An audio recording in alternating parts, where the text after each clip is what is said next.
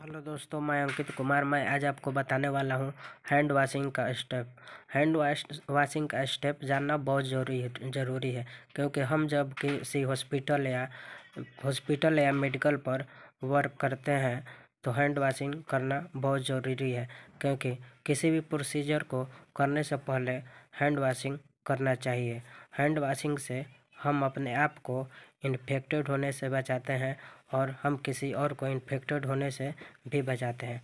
Thank you दोस्तों, अगर ये वीडियो आपको अच्छा लगे तो लाइक और कमेंट सब्सक्राइब करना ना भूलें। थैंक यू दोस्तों।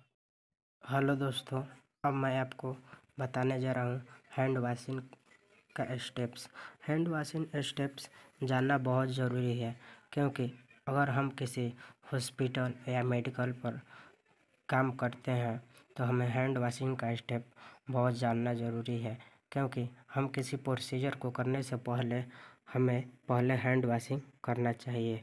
चलिए दोस्तों, चलते हैं हैंड वॉशिंग की तरफ़। रेंस वाटर, अपने हाथ को वाटर यानी पानी से भिगोएँगे, उसके बाद यूज़ सॉप और फिर जो भी हमारे पास सॉप होगा उससे, उसको अपने हाथ पर लेंगे। वाश योर पाम और दोनों हथेली को एक दूसरे के साथ क्लीन करेंगे। कर्व इज़ फिंगर और फिंगर को फिंगर को कर्व कर कर क्लीन करेंगे। फिंगर इंटरलेक्टेड, फिंगर को इंटरलेक्ट कर कर क्लीन करेंगे। बेस ऑफ़ थम्स और थम्स को क्लीन करेंगे। बेस ऑफ़ थम्ब यानी थम अंगूठे को क्लीन करेंगे। कर्ब नेल और फिर हम अपने अंगूर, फिर हम अपने फिंगर को कर्व कर कर नेल्स नाखून को क्लीन करेंगे। Wash your wrist.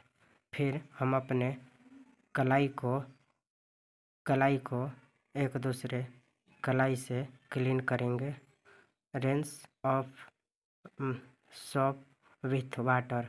फिर अपने अपने हाथ में लगे सॉप को वाटर के साथ धोएँगे वाटर से धोएँगे वाटर से क्लीन करेंगे।